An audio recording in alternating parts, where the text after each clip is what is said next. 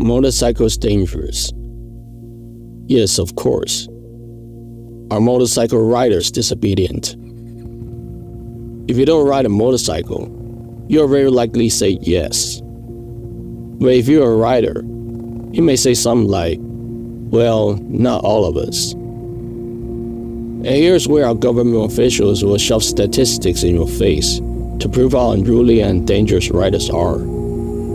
Luckily, even though I'm not good with numbers, I can always tell when someone is trying to gaslight me. So I dug around publicly available data online and came across something that government officials have never spoken of publicly. In this video, I will show you how the misbehaving rider stereotype in Taiwan is actually a lie by omission. Although the information presented in this video is on Taiwanese traffic only, it could be interesting for you to dig into the national statistics of your own country and see if you come up with a conclusion that's different from the government rhetoric.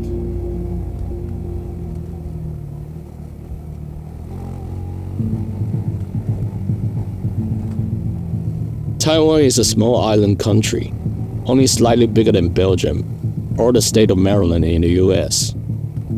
On such a small piece of land, our city streets are flooded with scooters. Throughout the last decade, the total number of scooters and motorcycles consistently outnumber all other vehicles combined. So before we even start talking about traffic accidents, keep in mind that there are way more scooters and cars on the streets at any given time plus the obvious fact that motorcycles offer no protection during a traffic collision.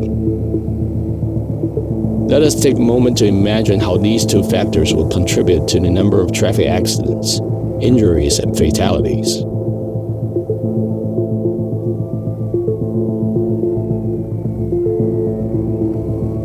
The Taiwanese police statistics actually show that scooters and motorcycles commit less than half of traffic violations committed by cars despite the fact that there are way more scooters and motorcycles registered. If we look at how the top 5 traffic violations are attributed in 2022, car drivers commit a higher percentage of violations in illegal parking, speeding, and illegal turning. Riders commit the majority of running the red light and violating the right of way. However, we must note that in Taiwan, bikes under 250cc's are forbidden to enter fast lanes. And if a bike switches into a forbidden lane, it is considered a right-of-way violation. Since the fast way restriction cannot be violated by cars, the math on the right-of-way violation is biased. All that is to say, Taiwanese riders are actually more law-abiding than what you've been told to believe.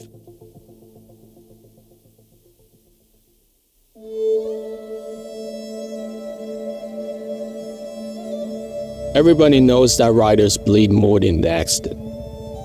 The statistics show riders have a higher number of fatalities and a disastrous number of injuries. However, we must understand a very subtle difference between casualty rate and accountable casualty rate. The casualty rate is a measure of how vehicle operators suffer from accidents.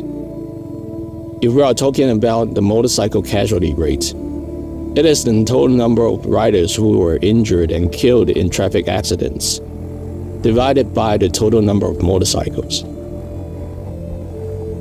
The accountable casualty rate is a measure of how dangerous a type of vehicle operator is. The formula is a little tricky.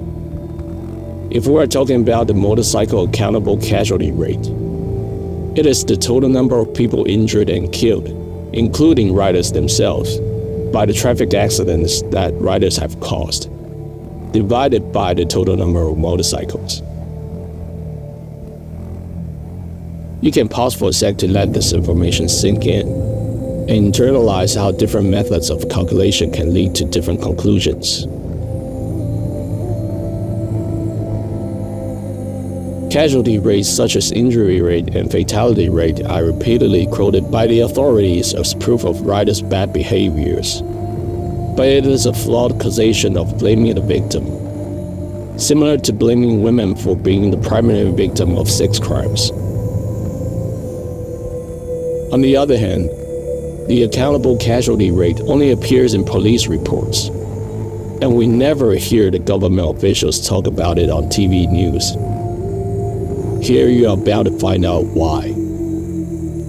If we compare the accountable casualty rates among various types of vehicles, we will find a couple of surprising results. Number 1. Riders are least likely to cause traffic accidents. Number 2.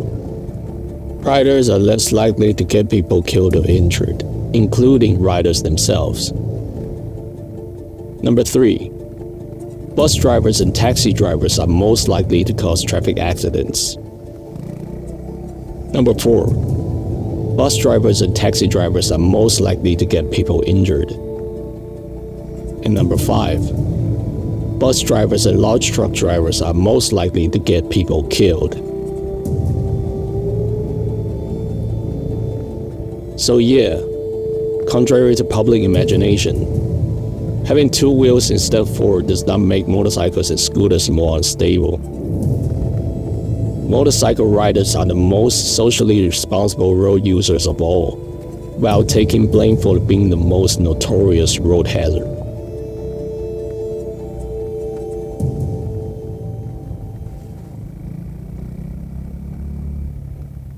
Let us be fair for a second. Buses naturally hold more passengers, so it would make sense that at any given accident, the number of injuries or even fatalities can be higher.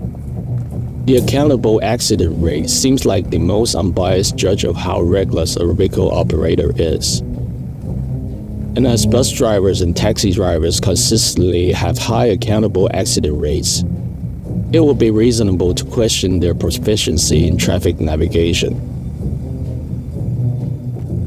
I have included National Statistics data query link in the video description, along with all my findings compiled into one spreadsheet.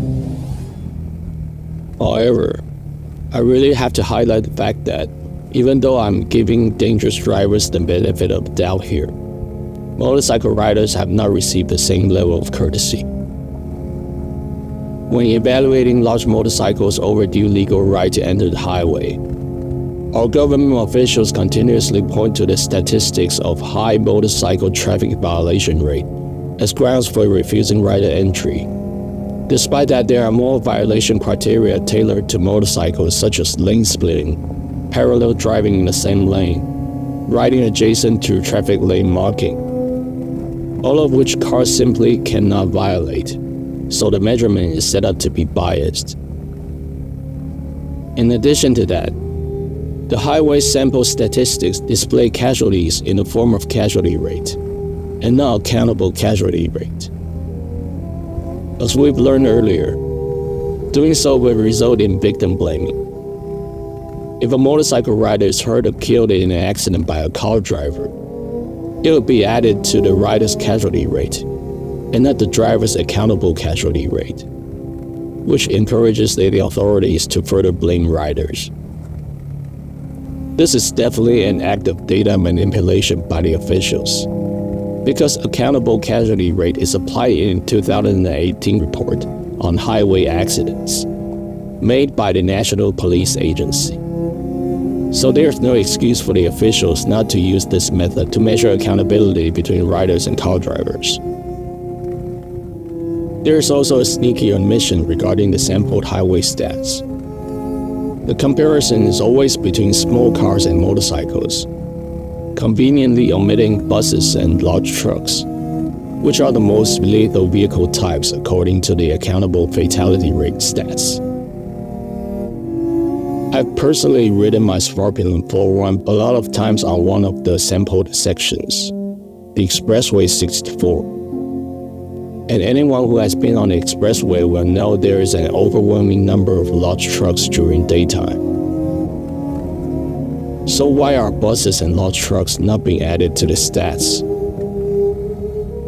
The answer can also be found in the 2018 report, where it shows that bus drivers and large truck drivers have the highest accountable casualty rate on the highway, which coincides with my findings earlier. But before we can comfortably point our fingers again, I want to introduce you to the deepest fallacy of reading traffic statistics. We all seem to have forgotten that riders, car drivers, bus drivers, large truck drivers, they all come from the same population pool.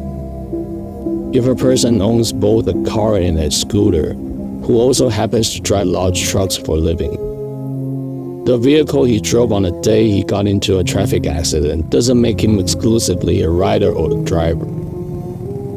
The only difference between types of vehicle operators are their proficiency to operate a certain type of vehicle and capability to safely navigate traffic, both of which are directly regulated by our government's vehicle license certification system. When it comes to bad traffic behaviors such as the ones we see on bus drivers and taxi drivers, scattered outliers can be attributed to personal responsibility. But consistent bad traffic behavior across a decade can only be blamed on the system. Therefore, when you hear our Minister of Transportation Wang Guocai talk about misbehaving riders, understand that he's making a strawman argument based on misinterpreted statistics so that the public will focus less on the license certification failure and infrastructural failure that the government is responsible for. Throughout human history, a witch hunt is always the call to action initiated by the authority to maintain control, and it is always conducted in the name of public safety. Motorcycles have been the designated road safety hazard in Taiwan for over 50 years ever since the authoritarian martial law era back in the 1970s. It is time for us to end the witch hunt and focus on the real systematic issue at hand.